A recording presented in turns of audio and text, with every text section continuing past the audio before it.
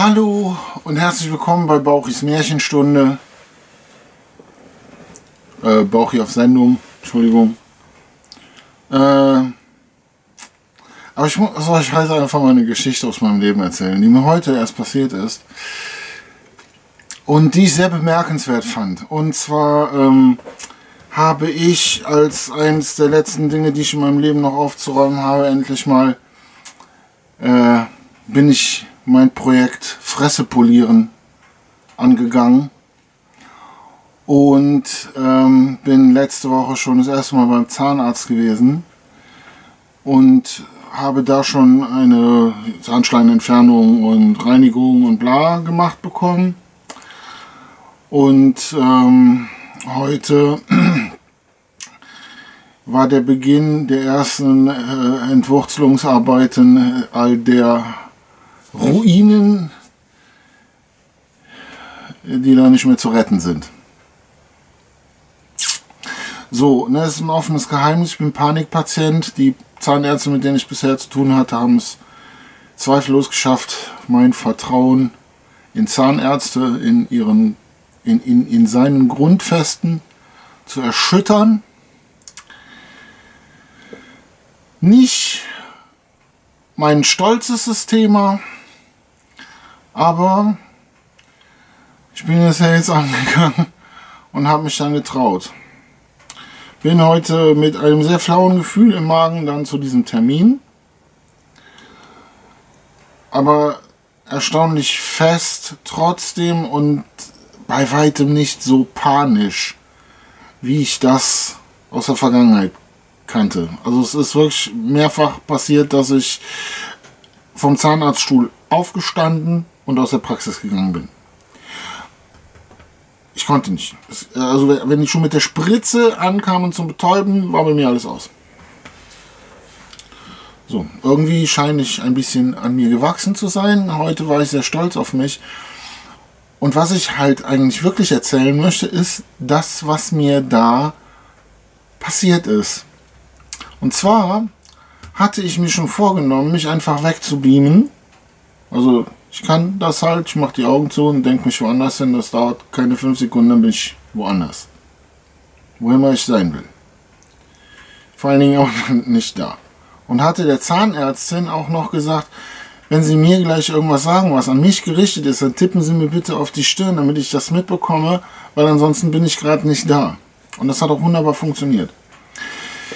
Dann hat sie mir die Spritze gesetzt und in der Zwischenzeit mussten wir noch mal ein kleines Foto, ein Röntgenfoto machen. Und währenddessen, äh, wo es am Kramen war, fragte ich dann so aus dem Bauch raus, kennt ihr den Film Little Shop of Horrors?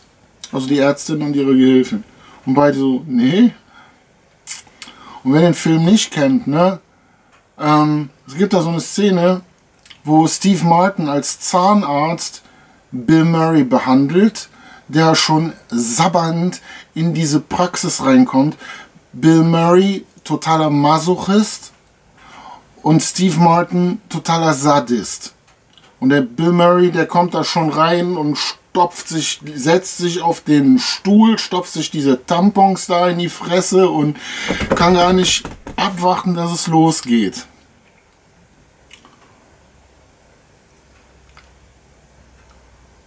Dann habe ich der das noch erzählt, der Frau. Konnte wahrscheinlich nicht viel mit anfangen, aber hat mich halt plappern lassen, weil sie auch gemerkt hat, dass ich nervös bin. Und dann bin ich dann halt eben, lag ich dann auf dem Stuhl und es sollte losgehen. Ich habe dann halt meine drei Atemzüge gemacht und war erstmal gerade am Strand einfach in Kalawakis.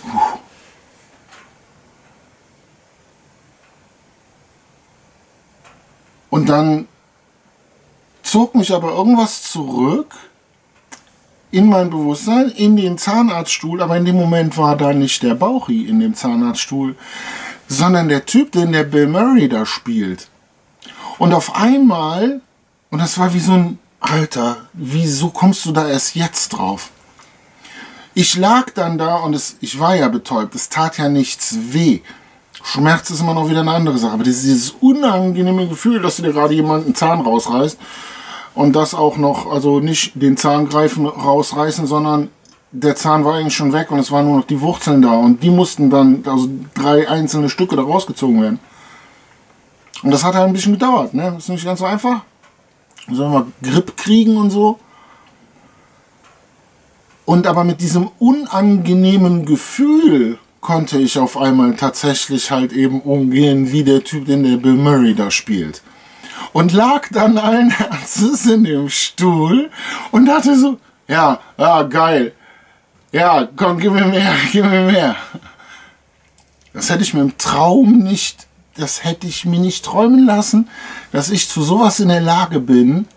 So, und jetzt weiß ich, es folgen noch einige Termine. Ich habe heute, glaube ich, einiges gelernt, um diese Termine wesentlich besser hinter mich zu bekommen und auch die Zwischenzeiten zwischen den Terminen, die halt, wann immer du an den Termin denkst, so mit einem mulmigen Gefühl. Ich denke mal, das wird sich jetzt auch, ich werde das mal weiter beobachten und bei Interesse auch gerne weiter berichten.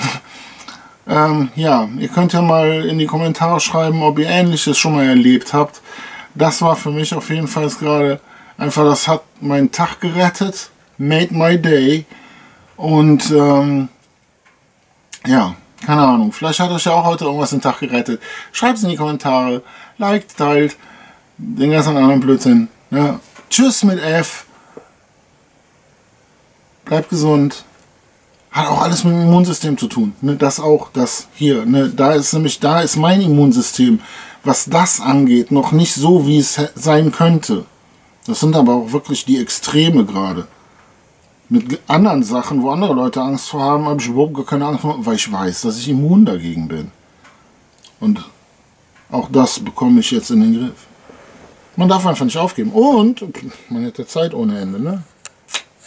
Tschüss. Wo ist der blöde Knopf? Hier.